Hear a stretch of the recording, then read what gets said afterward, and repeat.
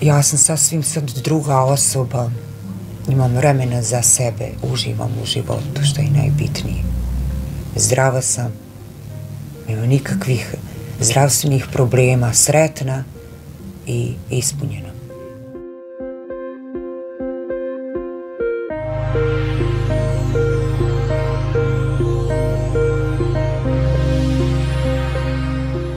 Ne postoji ništa snažnije od majke koja se bori za svoju djecu. U toj borbi učinit će i nemoguće stvari. Baš kao što je to učinila Ida Avdić iz Kalesije, koja je svojoj djeci sa brojnim zdravstvenim problemima, korigovanjem prehrane poboljšala zdravlje i olakšala svakodnevnicu. Zahvaljujući tome, kćerki je spasila život, a onda se ponuka na pozitivnim iskustvom i sama odlučuje za promjenu načina života. Kako kaže, na ovu promjenu su je nagovorili njena kćerka i sin, koji su je godinama gledali kako svoj život podređuje njihovoj sreći. Danas je ona uspješna fitness trenerica i sa osmihom se nosi kroz život. Svojim radom pomogla je mnogim ženama da ponovno zavole sebe, a njena životna priča i borba počinje ovako. Gospođa Ida, vi važite kao borac, kao super majka i super žena. Upravo zbog svih borbi koje ste izborili, ali i zbog rezultata koji ste postigli. Koje su to bile borbe i kada je bilo najteže? Evo na početku hvala vam što ste upravo izabrali mene da kažem par riječi o sebi, o svom životu, o tim svojim borbama. Ja sam Aida Avdić, certificirani fitness trener. Radim na opštini Kalesija. Već skoro dvije godine sam aktivna po tom pitanju, bavim se znači fitnessom.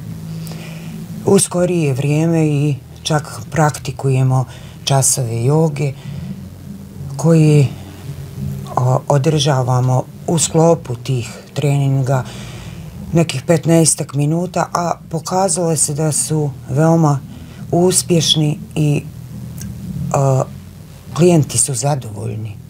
Znači, sa svim tim mojim, kako da kažem, novotarijama, u, da trenzi ne budu dosadni, monotoni i tako. Ja sam majka dvoje predivne djeci. Ja neću reći sa posebnim potrebama ili tako nekako djeca koji sva ostalo, međutim, kroz život svi imaju neka iskušenja, neko malo veća, neko malo manja. Nažalost, mene je ta sudbina tako, kako da kažem, poklopila da o, rođenjem kćerke bila sam sretna, po, pokazala sam se kao uspješno uspješna majka u odgajanju djeteta, nakon toga rodim sina i saznajem da je nakon kraćeg vremena, jer je porod bio do, zaista težak, e, prije vremena rođena beba, da ima cerebralnu paralizu i tek tada počinje prva životna borba. E, nakon svih tih borbi, osam njegovih operacija. Dešava se da krajem njene 15. godine razboli se kćerka. Koja je bila u potpunosti, je li tako? Potpuno zdravo? je zdravo dijete.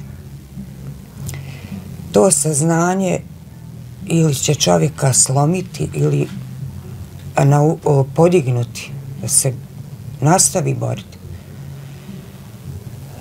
trajalo je to u godinama. Zamislite situaciju, sin je već u gipsu, imao je neke operacije na nogama, čerka bolesna u bolnici je, doktori vam stalno plasiraju diagnoze. Ja sam se nekako sa sobom sporazumila da se ja moram boriti, nema drugi. Nakon izvjesnog vremena njeno zdravstveno stanje se doista pogoršavalo. Ja sam ne samo fizički nego i psihički tonula. I ja sam bila bolesna, ali nisam u životu nikad znači imala vremena za sebe. Niste ni obraćali? Nisam ni znala jest, šta, je, šta je to imati hobi. izaći negdje sa društvom. I ako je takav razgovor sa prijateljicama, to je pitanje pa kako su sad djeca. To vas vrati u vašu stvarnost. I nakon izvisnog vremena, kad su već doktori otpustili iz bolnice, ne mogu, sa riječima da ne mogu više ništa učiniti za nju,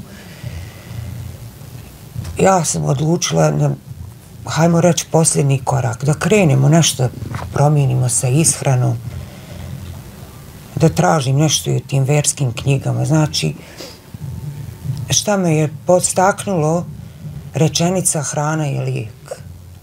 Daj da pokušamo još s tim. I tako je to počelo.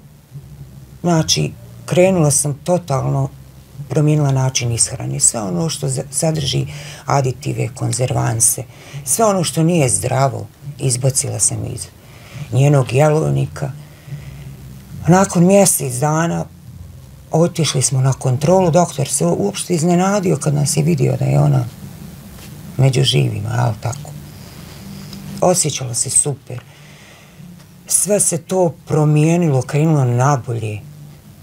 Bile smo presretne. I jednog dana ona kaže meni, znaš šta, ja bi najviše željela da ti sad počneš da živiš. Pa živim je. Da se posvetite malo i sebi. Jes, kaže, cijeli život ja se sjećam, brinula si se za brata. Onda sam se razbolila ja. Šta bi ti voljela u životu? Ja nisam znala. Naučila sam samo da se brinem o njima, da obilazim doktore, kuća, vrt, to je bio, znači, moj mali svijet. I najsretnija sam bila kad je njima dobro. Međutim, to je možda savjeti za sve oni koji imaju neke probleme. Ukoliko vi niste dobro, nije ni porodica, ne osjeća se niko dobro. Ne možete pružiti ili pokazati njima kako je to biti sretan. Znači, moj najveći uspjeh i najveća podrška su to moje dvoje djece. I muž, naravno. Vremenom ja sam, znači, za godinu dana uspjela da riješim svoje zdravstvene probleme. To su većinom bolovi u lumbalnom dijelu leđa zbog nepravilnog dizanja tereta.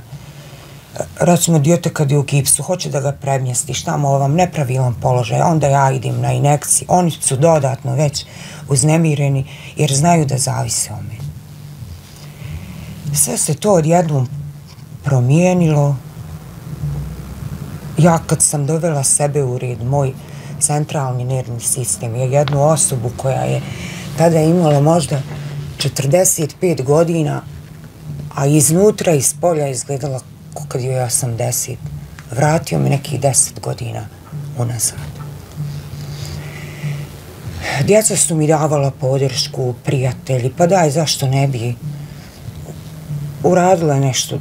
Postala, recimo, instruktor fitnessa. Ma joj, kakva ja? Što? Dječ, ne znam, ja frenik, jesam.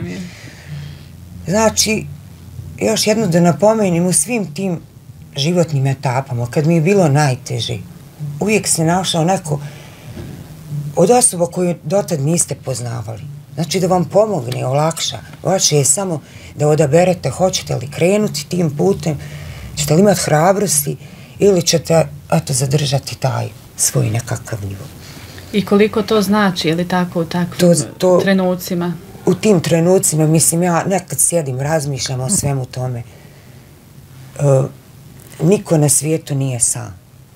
Samo ako se potrudi da ustane i da kaže, pa eto, ja bi da nešto promijenim. Od tad znači, moj život kreće na bolje. Poslala mi je jednu sliku, kaže, svako jutro ćeš dobivati, dobijati od mene tu sliku, dok mi ne objasniš šta, koje je značenje te slike. Stajala je jedna žena s nekih 70 godina, znači onako fit izgleda, držala je tek. I jedna baka onako u invalidskim kolicima, koja tužno gleda kroz prozir, vjerovatno, život je nije mazio. nije umjela da se izbori. Ja kažem, je odlučila sam da budem ta sa lijeve strane. Pa hajde, uradi još nešto, treniraj, probudi se. Otkri neke talente. Ja znam za sebe, ono, sport je za mene bio cijeli život i to je negdje čučalo u meni, ostalo negdje u podsvijesti, zabačeno, nemam više vremena za to. I sve je krenulo, znači, nabolje, ja sam u Sarajevu položila za instruktora fitnessa. Aktivno se počela baviti, znači, nepravljenim jelovnika. Onoliko koliko vi danas ste fizički aktivni, trošit ćete kalorije. Znači, moji savjeti su krenuli izbaci, znači, bijeli hljeb, gazirano, sve ono što nije prirodno. I što šteti zdravlje? Jeste. Tako smo krenuli, znači, udruženje žen, žen, snaga nezavisne žene pružilo mi je šansu da kao kroz njihove sekcije i aktivnosti počnem sa fitnessom. Početci su svaki teški, nema povjerenja, stereotipi, sredina, moralo se baš ono 24 sata raditi da biste vi dokazali i pokazali ljudima šta znači život bez bola. Prvo to. Zatim šta znači zdrava ishrana. Koliko ona utiče na naš izgled, na imunološki sistem. Zdrav san, fizička aktivnost, sve u svemu. I tako traje to sve do danas. Kroz taj fitness na opštini Sapna, eh, mjesnoj zajednici Miljanovci, te opštini Kalesija, u cijelini, prošlo je negdje oko, skoro oko pet stotina žena. Neko je promijenio adresu stanovanja, neko se ostvario u ulozi majke, neko nije pronašao sebe, jer nismo mi svi uh, orijentisani, neću da kažem da se borimo ili neko sebe ne pronalazi, neko je statičan, ne voli taj pokret. A u suštini uvijek volim da naglasim da je u pokretu život. Da se odvija, da smo kroz evoluciju stvoreni za pokret. I da treba stalno biti yes. aktivan i u pokretu. Eh, nakon toga, e, većinom su tu klijenti sa nekim zdravstvenim problemima, da li je u pitanju Eh, uh, štitna žlijezda, uh, kičma, gojaznost, koji sa, koja sa sobom nosi dodatne posljedice, visokrvni pritisak. Znači, neka rizična grupa od prilike između 45, pa čak imam, imam klijenata i preko 60 godina trening se mora prilagoditi, znači, fizičkom, što bi rekao, stanje njihovoj kondiciji, energiji, raspoloženju, obliku posla kojim se bavi. Da li vi danas jedite 8 sati, to je razlika i e, drastično od onog koji je recimo u pokritu i stoji na nogama. Tako da vremenom sam u stvari sve ono što vidim da na mene ostavlja lijep, dobar utisak ili ima nekog napretka, pa sam i uključila lagano i te časove joge, jednu po jednu asanu, prezadovoljni su. Najdraži mi je kad poslije treninga vidim osmih, zadovoljstvo i kaže, e pa ja ću nastaviti, iako nisam izgubila ni jedan kilogram, osjećam se lijepo iznutra. Malo prije ste evo spomenuli Jeste. baš taj osjećaj, to je nekako jeste. Prvi korak evo pri e, oporavku. Prvi korak e, pri oporavku jeste onaj da taj osjećaj sreće, jer današnji život pun je st uh, stresa, stresnih situacija koji se ne mogu nažalost izbjeći. Kroz te tehnike disanja, znači antistres terapiju, ja pomažem u stvari klijentima da se oslobodi dijela stresa koji se nakupio ili akumulirao mjesecima, godinama, a oni ne znaju kako se riješiti toga. I svi znamo da je stres u stvari ubica broj jedan. Bilo kardiovaskularnog sistema, imunološkog i svega onoga, u stvari narušava kompletno zdravlje. Tako da, do danas, znači, ja se borim i trudim da što više naučim, da prilagodim te trening njima, da se osjećaju lijepo opušteno, organizujemo čak i izlete. Prvo smo obilazili recimo te dijelove, da kažem, netaknute prirode ili na našoj opštini. Već u zadnje vrijeme organizujemo te grupne izlete ili ekskurzije malo šire naše kantona, znači posjećujemo planine. Već uh, u ovom mjesecu trebamo da odimo izvan granica naše države, idemo na Zlatibor, bili smo na Vlašiću, Jahorini.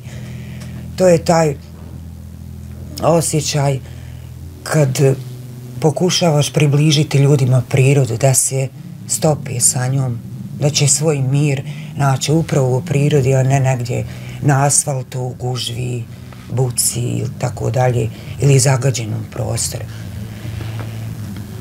Evo malo prije smo isto spomenuli kako je najteži taj prvi korak odlučiti se na yes. nešto. A naročito se najteže odlučiti majkama koje već imaju djecu. Kako je vama bilo na tom prvom koraku? Pa meni je trebalo dosta vremena da ja, znači, prestanem da budem, kako da kažem, previše brižna. Stvari, djeca su mi skrenula na tu pažnju.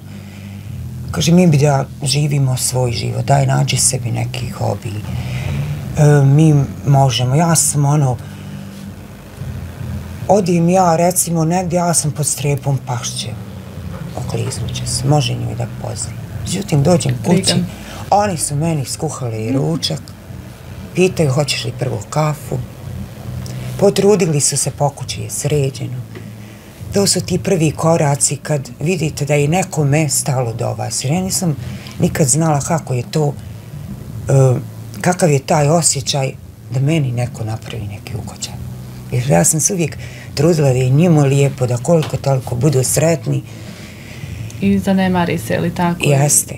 U stvari pomogli su mi da otkrijem sebe.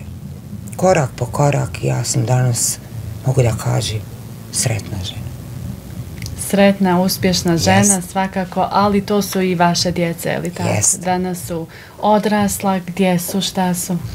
E, danas su to uspješni studenti, sin je na ITP akademiji, e, kćerka je upisala u Mostaru modni dizajn, iako pored svoje bolesti dokazuje sebi, meni, znači da može, da, da bolest nije kraj. Da u stvari uh, mi smo ti koji odlučujemo hoćemo li pasti u depresiju ili ćemo živjeti život normalno, uh, skladno sa, uh, u stvari sa svojim mogućnostima ili pronaći sebe čak izvan tih granica koje vam može neko postaviti ti to ne možeš ne možeš prijeći recimo 20 stepenica ma ne moram to, mogu nešto drugo E to je taj osjećaj. I uvijek su moja podrška, moji ponosi u stvari moja dika.